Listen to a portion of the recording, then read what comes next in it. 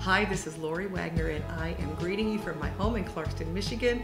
And I just want to tell you that I'm so excited you're going to be going through the books that I wrote to help you in your walk with God.